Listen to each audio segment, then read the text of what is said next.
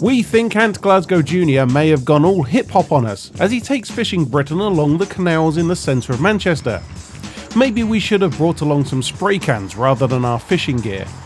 It seems that not only tagging hip hoppers dwell around these parts, he says follow your nose, and you might even find an elusive lesser shouty drunk under the bridge too. Once the thriving arteries that were a superhighway of industry now are washed with the litter of the fast paced cities above, these waterways still hold plenty of life in them. We are urban perch fishing, which seems to be rising in fashion all over the country. It's this urban fishing lark's getting even more popular now. You're seeing more and more people do it. It's in magazines. And I think it's just easy for someone to just grab a box of lures, a few bits of rod, and just do one to your local canal or like I have in, in the city centre. You know, and there's still fish here to be caught. You know, some of these urban places with traffic and graffiti and dirty syringes and all sorts knocking about. It's a shame, all that is a shame, but at the end of the day, if you're from the city, you have to put up with that. You're never going to escape it. And and yeah, you know, there's some cracking fish to be caught here, and you know, you can you can dive on the bus, dive on the tram, jump in the car, come here, catch a few perch, do one back home It's natural for me to come down here and see a hobo under the bridge and, and just step over the top of him and just carry on drop shot fishing. That's the kind of stuff that I've grew up doing, you know. I knew there'd be one under this bridge. that is brilliant. I mean, the gear that I've, I've come here today is just a small, ultralight, six foot three, zero to five gram rod, small little reel, uh, a six pound braid on there, and you know, I'm fishing for perch. There's a small fluorocarbon leader on there. If there's a lot of pike in the area, then I'll, you know, I'll, I'll put a wire trace on. And the secret with this urban street fishing like is, is keep on the move all the time. You've got to find where the fish are. Now, nine out of 10, you'll be getting a lot of, a lot of roach and, and prey fish feeding under these bridges because you've got to use your noggin. You get the pigeons that in the water uh, and that attracts, obviously, fish feeding on the bits and pieces and then that attracts that attracts the perch. So bridges uh, for that reason are always the, the first places where I start. If there's nothing there then I'll, I'll head on further down the river or further down the canal and just got to keep keep on the move.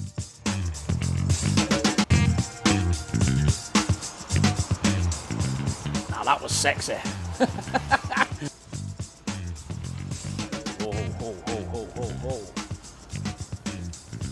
thinking that's just pure neglection.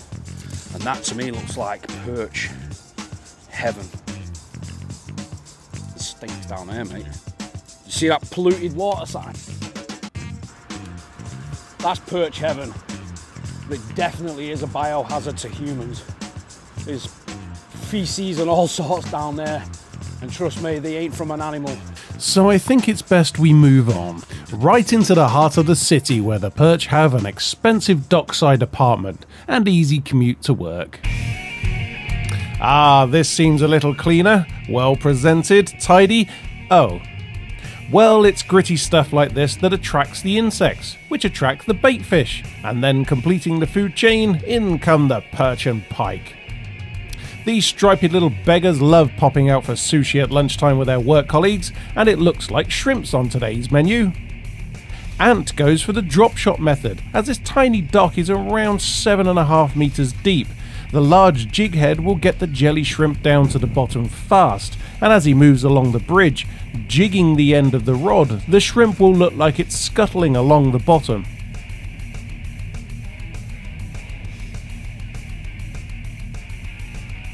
This dock is right in the centre of the city and must have thousands of people walking over it every day, completely oblivious to what lies beneath. And it takes a keen eyed urban warrior like Ant G to sniff them out.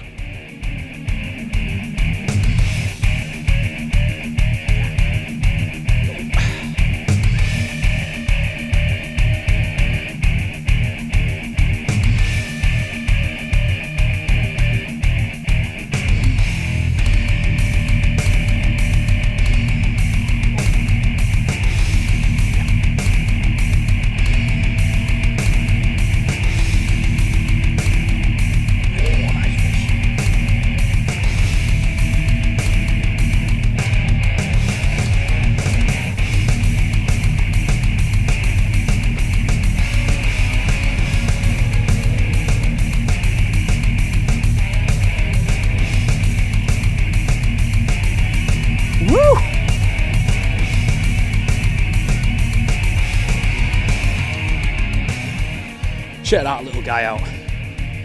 This is a place where you would normally walk across and wouldn't think there was fish in there. I just dropped this guy down and woof, he nailed that. You know, awesome.